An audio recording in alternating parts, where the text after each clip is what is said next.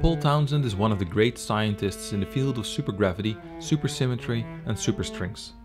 His broad expertise diverges from solitons to supermembranes and to one dimensional gravity. He obtained his PhD at Brandeis University, after which he continued as a postdoc in Stony Brook, in those days the mecca for research on supergravity.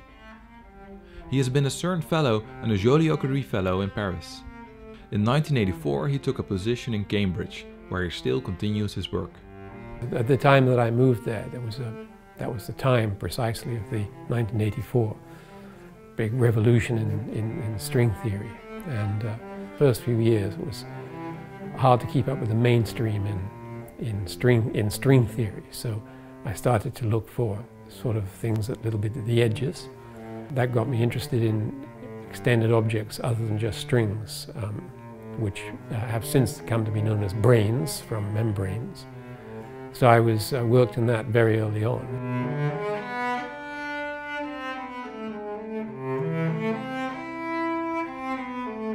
To get the string of string theory, you have to imagine um, taking a violin string and just keep pulling it on the two ends. Um, now, if you keep pulling, what, what happens, of course, is that the waves on the string move along at a certain speed, which depends on the tension at which you pull it. Um, and if you keep pulling on the violin string, of course a real one will break. But if you imagine that you can keep pulling, then at some point the speed of the waves on the string will increase indefinitely. But not, of course, indefinitely, because there's a fundamental limit, which is the speed of light. So when you've reached the point where you've pulled on your violin string and stretched it to the point where actually the the waves on it are now moving at the speed of light, then you have a very strange material. And that material is the string string theory. In a way, the branes are, are, are essentially the same material, um, but just more extended.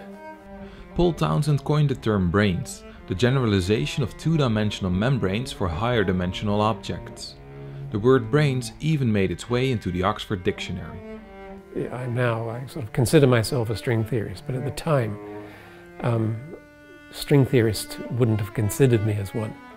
And I was happy not to be considered as one because uh, I tried to push the idea that one should stop calling the subject string theory for a start on the grounds that um, it had completely changed, so why keep the same name? That just allows people to tell you, look, you've been doing the same subject for the last 25 years and you haven't made any progress which of course is not true.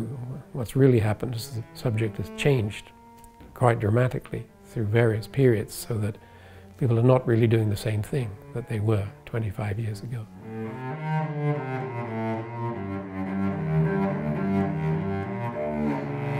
Ideally, for research, one should try to learn things on one's own terms right from the beginning. It's uh, um, perhaps you know, people like Feynman was rather good at that. Apparently he never read any papers. He just was told a result and he would reproduce it himself if he found it sufficiently interesting. You know, you have to come, somehow have approached it in a way that you've, you've kind of understood it in your own way and then, then you can make progress that's, uh, you know, maybe will push things further.